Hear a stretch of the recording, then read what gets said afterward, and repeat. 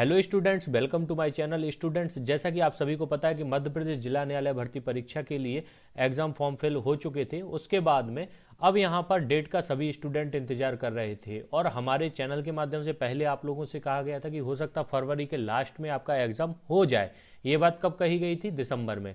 But फिर अमेरिक्रॉन के कारण इसको देखते हुए, कोरोना वायरस को देखते हुए स्टूडेंट्स को बताया गया था कि हो सकता मार्च में हो। ये संभावना व्यक्त की गई थी कि अगर एग्ज़ाम, क्योंकि जूनियर जुडिशियल का एग्ज़ाम भी पेंडिंग है, बट अब उन सभी संभावनाओं पर पानी फिर चुका है। क्यों?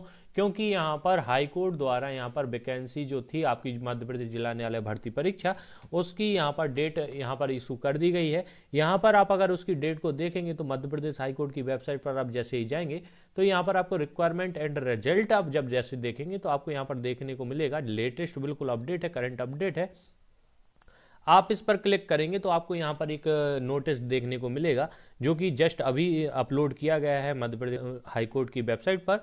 और उसमें क्या बताया गया है? मध्य प्रदेश राज्य के जिला एवं सत्र न्यायालयों की स्थापनाओं पर शीघ्र लेखक टू, शीघ्र लेखक थ्री, शीघ्र लेखक थ्री कोर्ट मैनेजर स्टाफ, सहायक ग्रेड तीन एवं सहायक ग्रेड तीन इंग्लिश नोइंग के पदों की भर्ती 2021 हेतु ऑनलाइन आवेदन करने वाले अभ्यर्थियों को सूचित किया जाता है कि उनकी ऑनलाइन प्रारंभिक परीक्षा दिनांक 22 दो 2022 मंगलवार को जबलपुर, भोपाल, इंदौर, ग्वालियर, सागर, सतना एवं उज्जैन, कुल सात जिलों के केंद्रों में आयोजित कराई जाएगी अभ्यर्थी अपने प्रवेश पत्र, मध्य प्रदेश उच्च न्यायालय की वेबसाइट से रजिस्ट्रेशन क्रमांक और पासवर्ड दर्ज कर दिनांक 12 दो 2022 से डाउनलोड कर प्राप्त कर सकते हैं।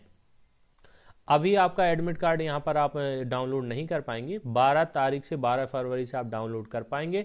तो स्टूडेंट्स ये सभी के लिए सॉक्ड है। ऐसा नहीं है कि हमारे लिए सॉक्ड ना हो। आप के लिए जितनी सॉक्ड है, उतनी हम हम सभी टीचर्स के लिए भी है।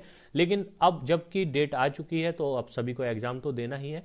इसलिए आप लोग अब डायरेक्ट डेली डेली अच्छे से तैयार कीजिए। और जिन्होंने हमारी टेस्ट सीरीज़ परचेस की है, वो टेंशन ना लें। जो कि आपको संडे टू संडे जो आपको टेस्ट देने को मिलता था अब आपको सप्ताह में दो दिन आपको टेस्ट मिलेंगे।